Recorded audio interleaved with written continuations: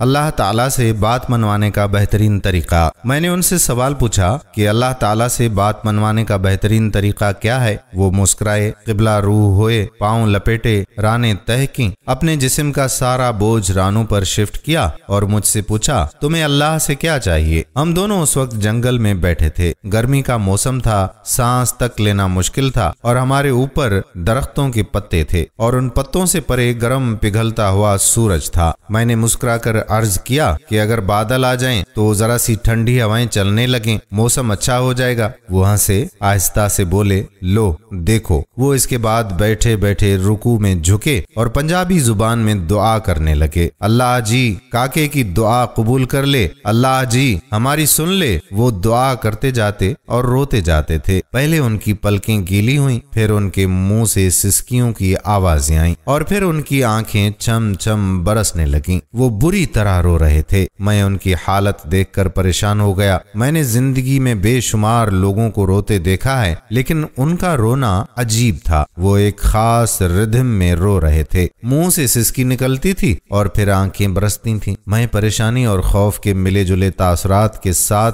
उन्हें देख रहा था। वो दुआ करते जाते थे, रोते जाते थे और सिसकियाँ भरते जाते थे। मैंने फिर वहाँ एक अजीब मंजर देखा कि मुझे हवा ठंडी होती हुई महसूस हुई आसमान पर उसी तरह गर्म सूरज चमक रहा था, लेकिन जंगल की हवा में खन की बढ़ती जा रही थी। मेरी पेशानी, सर और गर्दन का पसीना खुश्क हो गया। मेरे सीने और कमर पर रेंगते हुए कतरे भी गायब हो गए। मैं ठंडी हवा को महसूस कर रहा था और हैरान हो रहा था। मेरे देखते ही देखते पतियों ने तालियाँ बजाना शुरू कर दी। शाखें एक दूसरे के साथ उलझने लगी। पौधे हवा की मौसीकी पर नाचने लगे और फिर बादल का एक टुकड़ा कहीं से आया, सूरज और हमारे सर के दरमियान तन कर खड़ा हो गया। वो रुके, दुआ के लिए हाथ उठाए और शुक्र अदा करने लगे। वो देर तक अल्लाह जी आपका बहुत शुक्र है, अल्लाह जी आपकी बहुत मेहरबानी है, अल्लाह जी आपका बहुत बहुत शुक्रिया। ये लफ्ज कहते रहे। वो दुआ से फारिग हुए, जरा सा ऊपर उठे, टांगे सीधी की और मुँह मेरी तरफ़ करके बैठ गए। उनकी सफ़ेद दाढ़ी आँसू से तर थी। उन्होंने कंधे से रुमाल उतारा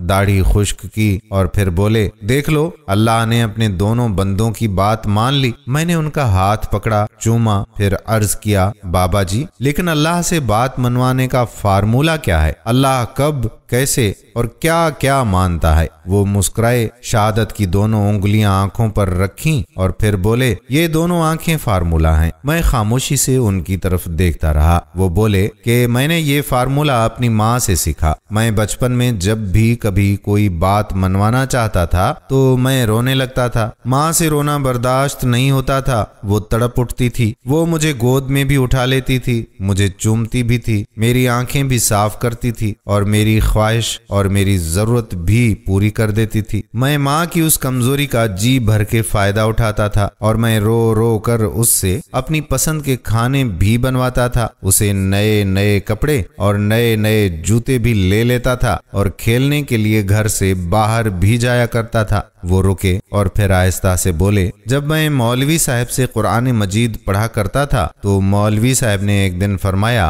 कि अल्लाह ताला इंसान से सत्तर माओ से भी ज़्यादा प्यार करता है। ये फिक्रा सीधा मेरे दिल में लगा और मैंने सोचा कि मैं रोकर अपनी एक माँ से सब कुछ मनवा लेता हूँ। अल्लाह अगर मुझसे सत्तर माओ जितनी मोहब्बत करता है तो फिर मैं रो रो कर उससे क्या क्या नहीं मनवा सकता। वो और बोले, बस वो दिन है और आज का दिन है, मैं रोता हूँ और फिर मैं अल्लाह की ज़ात में सत्तर माओ की मोहब्बत जगाता हूँ और मेरी हर जायज़ ख्वाहिश, मेरी हर जायज़ दुआ कबूल हो जाती है।